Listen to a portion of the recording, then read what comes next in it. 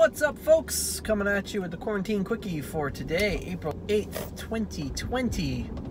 Today's quarantine quickie question comes from, once again, Mr. Jim Massa, the resident scientist of the Deep Purple podcast. And in an effort to get some love for the the keys, Jim says, "What are your top five Jon Lord album solos with Deep Purple?" So I was immediately thinking of some live solos, but he did specify album. So um, I'm gonna start.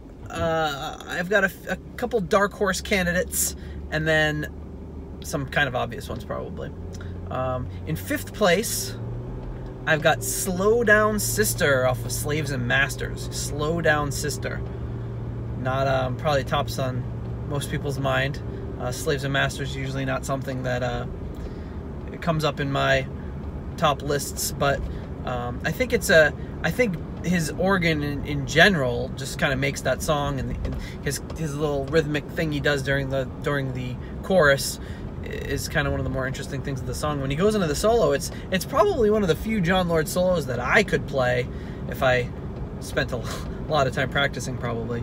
But it's not it's not technically super challenging, but it's just a very interesting solo. He's got a great tone. I'm, I'm sure Jim would know, but I don't know exactly what piece of gear he's using for that solo. But it's a great sound to it. In fourth place, I am not your lover off of Perpendicular. Uh, this is kind of the opposite. There's no, if I practiced from now until for the next 20 years, I could probably never play this.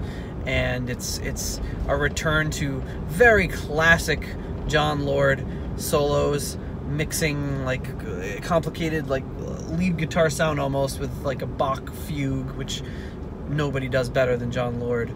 And it's kind of got that yeah sped up Bach kind of feeling to it amazing solo, and then kind of kicks into like uh, a little bit more uh, traditional solo after that, and then goes uh, le- leads the way for Steve Morse to um, deliver an incredible solo right after that.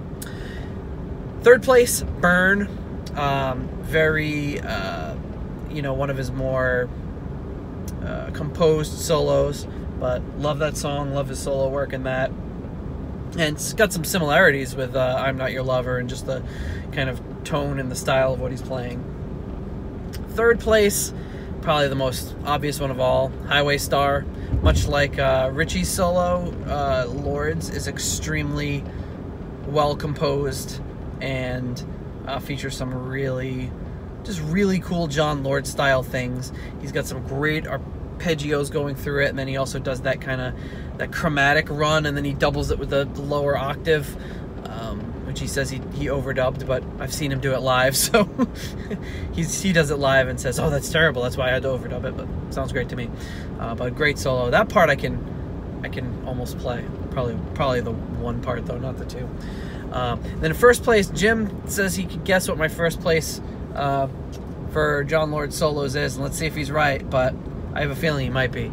It's Rat Bat Blue off of Who Do We Think We Are.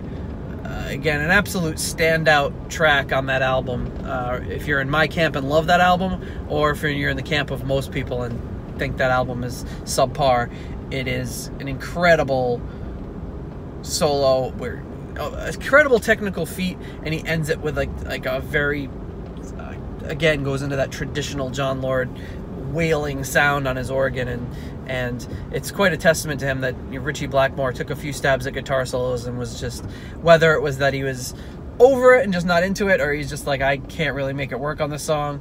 Uh, Jon Lord stepped in and took 100% of the solo responsibilities on that song and he delivers for sure.